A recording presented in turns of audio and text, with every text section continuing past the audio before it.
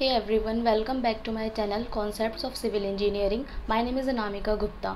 आज की वीडियो में हम पढ़ेंगे स्पिलवेज के टाइप्स के बारे में उसके क्लासिफिकेशन के बारे में उसकी डेफिनेशन और इसकी यूजेस के बारे में तो चलिए वीडियो स्टार्ट करते हैं देखिए स्पिलवेज होते क्या हैं? तो कोई सा भी रिजर्वायर होता है तो उसकी एक सर्टेन कैपेसिटी होती है वाटर को स्टोर करके रखने की।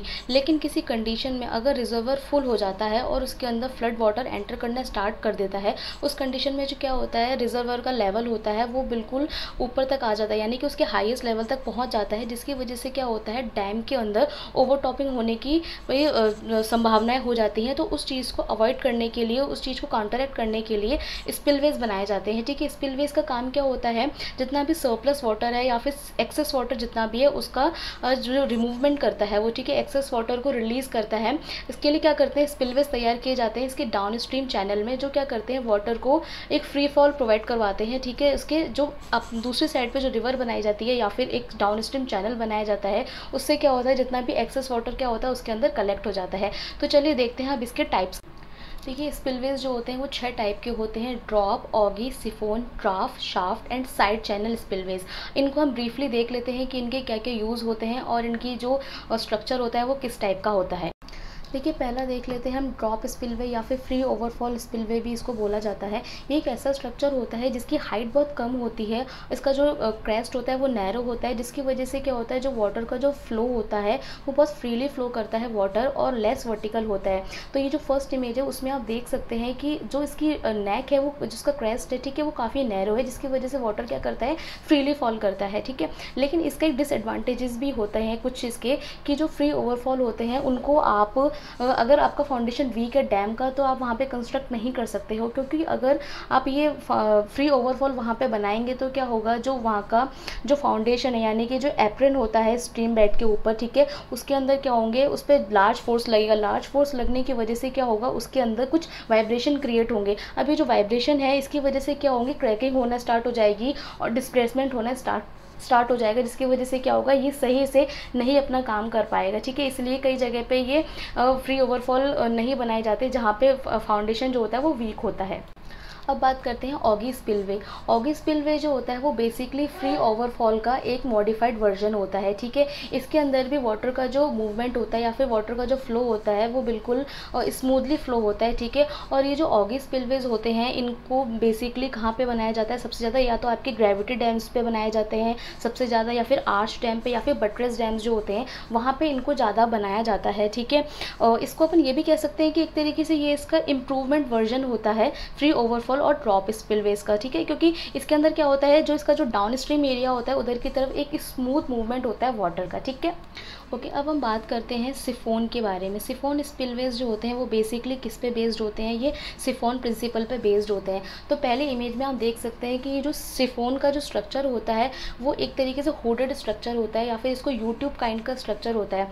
इसके अंदर क्या होता है? इसका जो ऊपर का जो हिस्सा होता है, उसके अंदर जो जो क्रेस्ट होता है, ठीक है? इसके अंदर एक एयरवेंट पाइप होता है, ठीक है? जब रिजर्वर फुल हो जाता है और इसके अंदर वाटर का मूवमेंट होना स्टार्ट हो जाता है तो इसकी वजह से क्या होता है? इसके अंदर कुछ मात्रा में या फिर कुछ अमाउंट में जो एयर है वो एंटर करती है, ठीक है? अब ये एयर क्या होती है? धीरे धीरे करके जैसे रिमूव होती है तो एयर के रिमूव होने के साथ साथ ही इसके अंदर जो वाटर की जो कैपेसिटी है, यानी वाटर का जो डिस्चार्ज है, वो एक लार्ज डिस्चार्ज होता है, ठीक है? जिसकी वजह से क्या होता है एक साथ हम कह सकते हैं कि बहुत सारा पानी इसके अंदर डिस्चार्ज हो सकता है। तो ये होता है हमारा सिफोन स्पिलवे अब बात करते हैं शाफ्ट स्पिलवे की।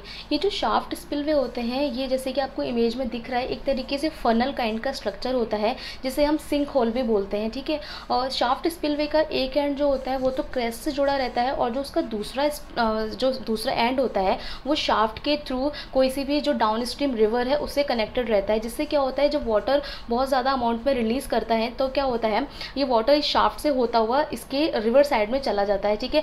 और ये जो शाफ्ट स्पिलवे होते हैं हैं, वो बहुत ही ज़्यादा हाई अमाउंट में वाटर को क्या करते हैं रिमूव करते हैं, ठीक है? जितना भी एक्सेस वाटर होता है वो इसके अंदर बहुत जल्दी अमाउंट में, बहुत ज़्यादा अमाउंट में क्या होता है रिलीज़ होता है।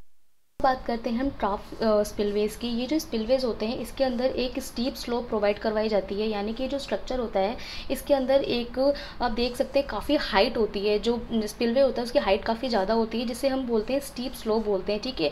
ये वाले जो स्पिलवेज होते हैं, उनको आप अर्दन डैम्स में या फिर ग्रेविटी डैम्स दोनों में ही प्रोवाइड करवाया जाता है।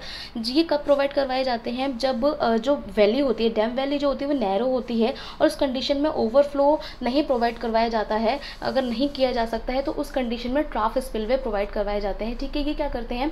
ये वही काम करते हैं वाटर को सरप्लस एनर्जी या सरप्लस वाटर जो होता है, उसको रिमूव करने का काम करते हैं। किस कंडीशन में? अगर ओवरफ्लो नहीं प्रोवाइड करवाया जा रहा है तो। अब बात करते हैं साइड चैनल स्पिलवेज की।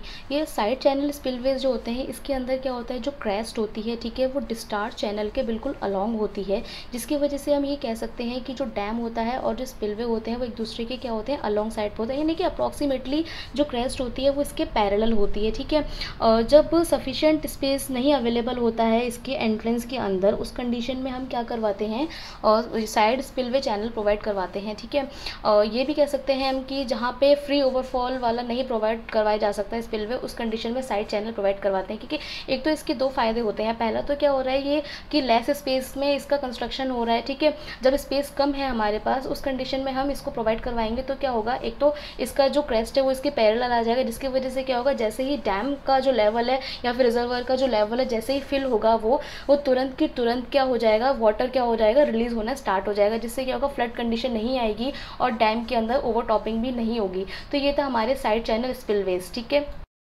तो ये थे स्पिलवेज के टाइप अगर आपको मेरा वीडियो अच्छा लगे तो इसे लाइक कीजिए शेयर कीजिए और मेरे चैनल को सब्सक्राइब कीजिए। मिलते हैं आपसे अपने अगले वीडियो में। Till then take care bye thank you